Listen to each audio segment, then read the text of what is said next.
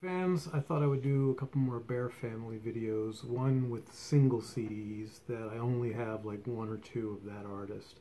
Uh, I'm not going to do several of my other singles by Bear Family because I might end up doing them in, with a, with that actual artist. If I do a video on my George Jones CDs, I would include the Bear Family single that I have there, or Billy Joe Shaver, or whatever.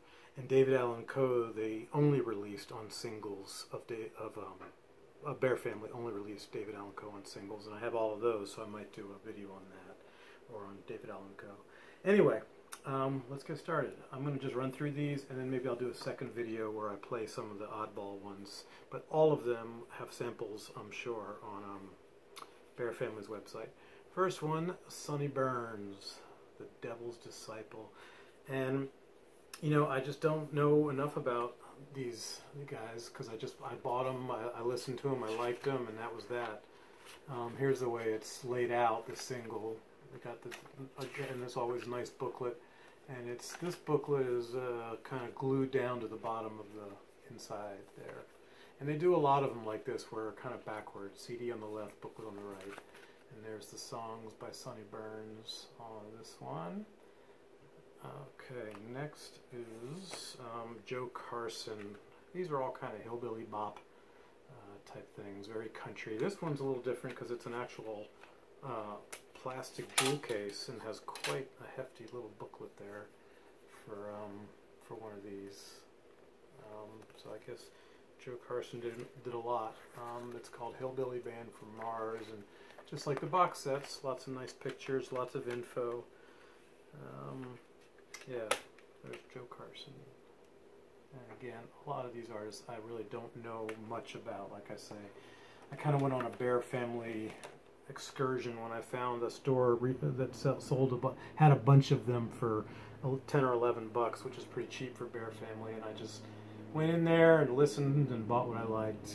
And uh, some of them got more than one listen, and some didn't. Tommy Collins of the Collins Kids, again, attached booklets attached there to the CD. Uh, I, don't, I don't know if he has there's any Collins Kid stuff on this.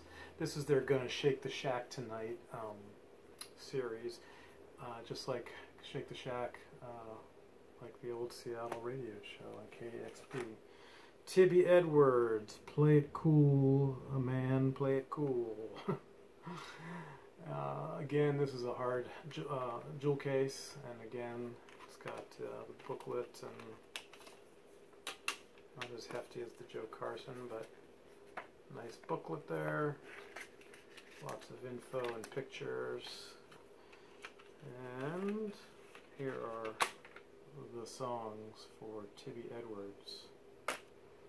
And we've got the Farmer Boys. This one I just found many years ago. I don't remember where, when, how, why and I just thought these guys were great. There's another band I like a lot called Flathead, and they do at least one or two of these songs. They, I think they do Flash Crash and Thunder, and they might do some other Farmer Boys. And their Farmer Boys don't have a drummer or anything. They're kind of um, they're pretty hillbillyish, um, as I recall. But they're they're they're great. I really do. I remember I do like this one a lot. But uh, maybe in the second video I can play some samples of Farmer Boys. Flash Crash and Thunder. George and Earl, Better Stop, Look, and Listen, another Gonna Shake the Shack Tonight series. And again, same CD on this side, booklet on this side, glued in to the um, actual Digipak case. Uh, George and Earl, another one that I just, you know, I picked it out and I listened to it. I don't remember where I got this. Oh, I got it the same place. Picked it out, listened to it, liked it, bought it. Cram a lot of these short country songs on there.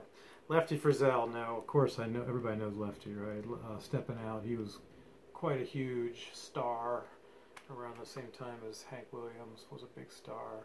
Another jewel case one with a booklet, and I'm not definitely don't want to play any Lefty Frizzell. You can hear him quite easily. Uh, all these guys you can probably look up on YouTube or somewhere online. And again, Bear Family has lots and lots and lots of samples. Okay, Hawkshaw Hawkins. That's another one you might have heard of, Car Hoppin' Mama. And there's the actual tracks on this one. Another pretty hefty booklet for a single CD.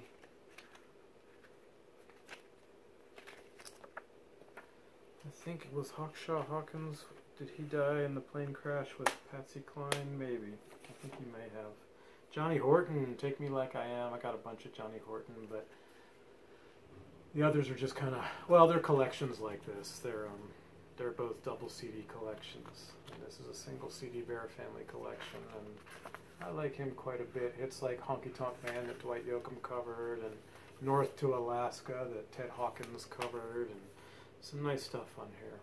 Um, yeah, he's a, just a great honky tonk country guy. Johnnie and Jack, uh, the Tennessee Mountain Boys with Kitty Wells at KWKH. Um, I remember just finding this and liking it. Um, a local record store in Baltimore at some point years and years ago when I still lived there. And uh, Johnnie and Jack, I believe, I forget their last names, but they are the ones that were always backing up Kitty Wells. Um, she was married to one of them. I'm not sure which one. One of them might have died in a plane crash, too. Heartbreaking Mama by Skeets McDonald, another from the Gonna Shake the Shack Tonight series. Hillbilly Bop, Country, Honky Tonk, that kind of thing. Pretty thick booklet. I've only got one other CD of his. It's another oddball rarity collection from some label I'd never heard of, and then this um, nice Bear Family set. Alrighty, and Jim Silvers, this guy, uh, music making mama from uh, from Memphis. He's a Jewish honky tonk country singer. Um, it, it's he's uh, he does a song called um, Oh boy, it's when each season changes you. Everybody's done it. George Jones, and I think maybe with Tammy Wynette, and lots of other people have done this song, and I just absolutely love it. And that may be what got me turned on to him. And this was cheap enough to buy at the time when I uh, bought it, because and it was probably the only thing that really was comprehensive. Didn't do much stuff as far as I know. This is about it. Um, but anything else I could find in him, I think, might have been like outrageously expensive because it's all out of print and he's so, you know, oddball. This is a Hank Snow disc um, from a box set, and I just found it probably at a record show or something years and years ago. Discs five and six from one of the singing. What's he? The the, the uh, not the singing brakeman. That's Jimmie Rodgers. Not the singing cowboy. That's um, uh, maybe it's the singing cowboy. I forget. The singing ranger. There it is, right there. Volume four. Um, 1969 to 1984. A lot of great stuff on this. 1984, so some of it's pretty modern and recent for, for Hank Snow. Now here's a Hank Snow, The Gold Rush is Over, and that's some of his more, you know, The Golden Rockets on here, I'm pretty sure, and The Gold Rush is Over, and another, wow, yeah, hefty booklet. They did several of these for Hank Snow. I got one more where they um, did singles. I guess they took stuff out of the box sets. They were themed too. One, I think they have a Hawaiian one. Um, this other one that I have is this. Oh, Snow South of the Border. So this is kind of some of his more Mexican sounding stuff. Very, very nice stuff. Kind of like El Paso, which I know is a Marty Robbins tune. But anyway, this was water damaged and at half price books, so they gave it to me for I think it was three or four bucks. Yeah, it was four bucks. They might have even given me a little bit off because it was so water damaged. Red Sovine, Juke Joint Johnny. He's another one that you may know already. I think he's one of these truck driving song guys too at some point, like uh, Red Simpson and Dave Dudley, kind of in that vein, but a little older, a little more uh, hillbilly, a little more raw. Um, just a couple of pictures there and some text. And then we got Wynn Stewart. He's another more well-known guy. And again, same format here. Booklet on the inside attached. And then these are the songs for the Wynn Stewart collection. And Rocket Down to My House. This one, uh, Justin Tubb. I, you know, I kind of, I don't know why I got this. I liked some of it. Some of it's kind of rockabilly. Um, a lot of these guys were. Conway Twitty was a rock and roll rockabilly guy before he really hit it big in country, and so was George Jones. Um, this doesn't even have the booklet. That's why it was so cheap, out of print. You know, blah blah blah. But anyway, rock it down to my house, Justin Tubb.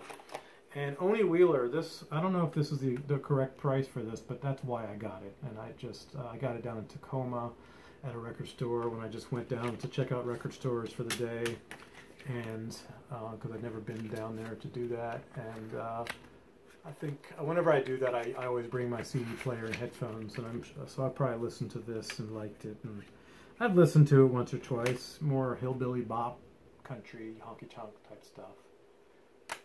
Leona Williams, I heard her on, might have been on Modern, uh, on uh, Swinging Doors radio show out here on KEXP. Three CD set, Whoa, booklet on, this booklet I think comes out, yeah, this one comes out like so. There's the front, there's the back. She did a lot of stuff with Merle Haggard.